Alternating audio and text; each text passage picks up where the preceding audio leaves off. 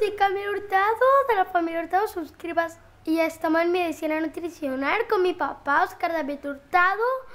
Suscríbase a, a Medicina Nutricional y así su familia será más saludable y mi papá será más feliz. Y comenzamos este video en 1, 2, 3.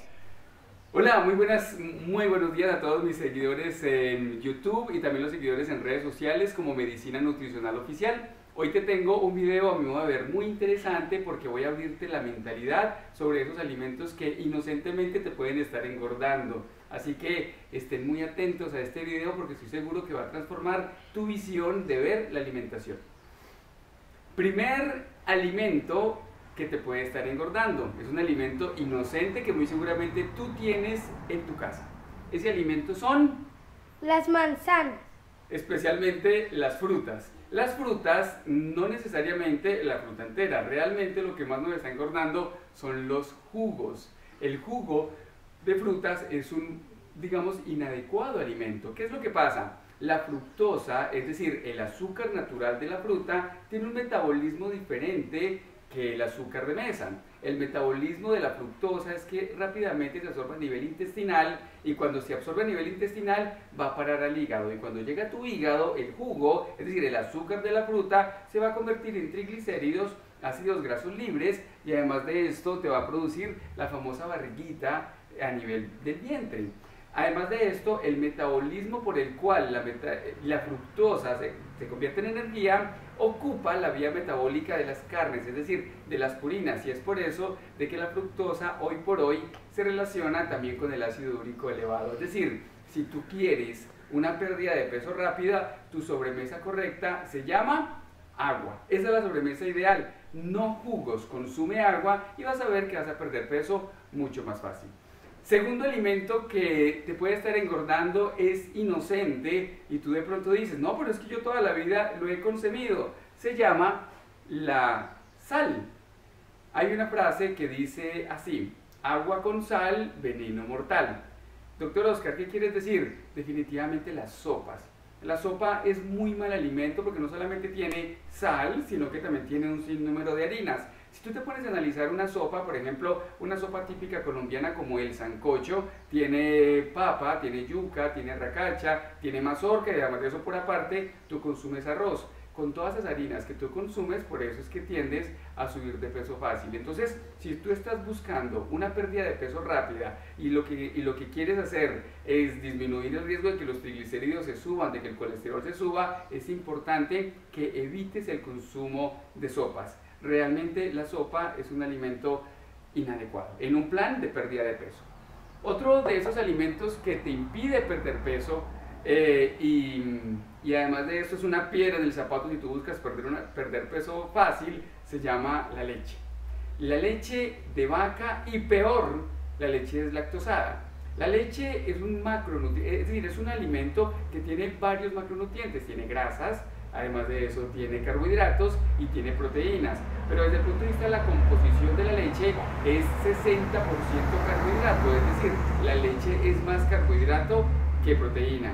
Es por eso de que rápidamente estimulará la función de la insulina y la insulina la que se encargará de acumularnos grasita.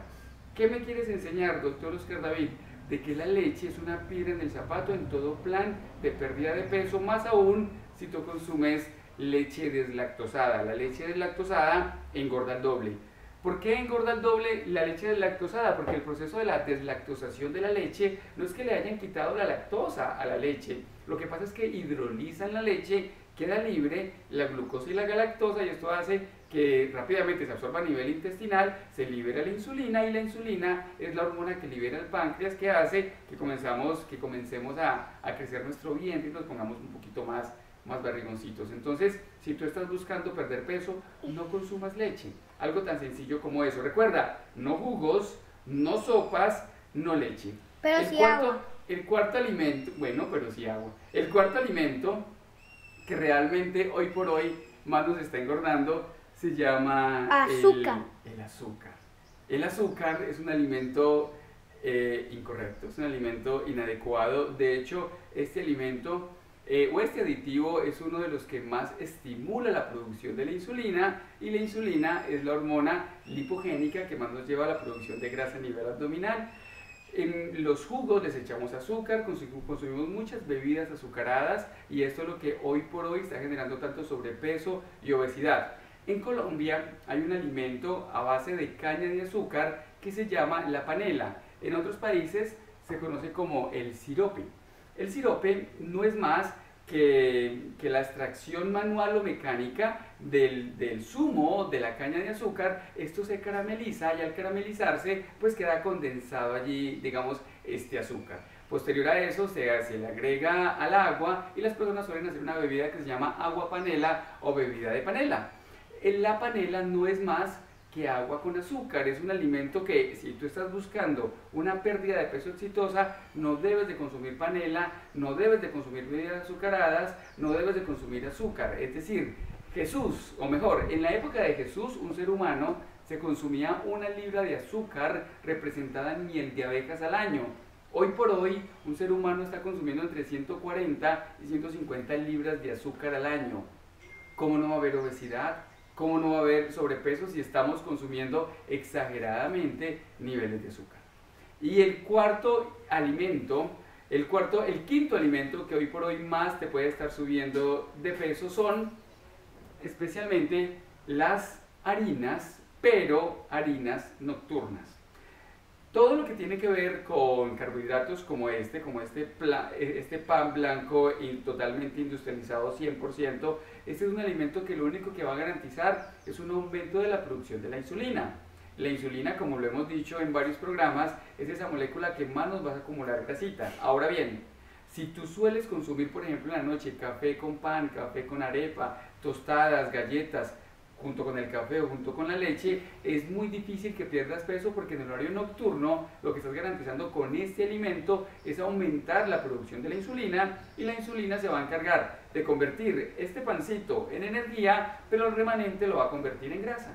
Entonces, si tú estás buscando una pérdida de peso exitosa, no consumas harinas nocturnas. Y si has de comer una harina durante el día, que no sea en la noche y especialmente que sea integral este pan definitivamente tiene un índice glicémico muy alto, es decir, una capacidad de estimular la insulina muy alto y si tú lo consumes integral, la capacidad de estimular la insulina baja y si le agregas lechuga, tomate y cebolla en el medio del pan integral, pues la capacidad para engordar va a disminuir aún más. Entonces, estos son los cinco alimentos que en teoría te pueden estar engordando y tú de pronto no te has dado cuenta.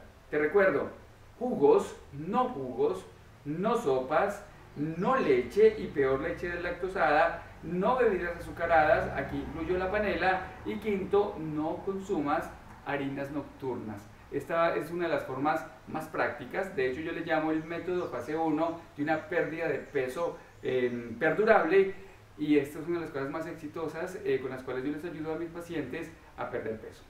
Si te ha gustado este video, por favor, suscríbete a mi canal y además de eso, comparte toda esta información porque cada vez vamos a sacar videos que de seguro te van a transformar tu vida y la de tu familia. Gracias por escucharme y los espero en el próximo video. Hasta luego.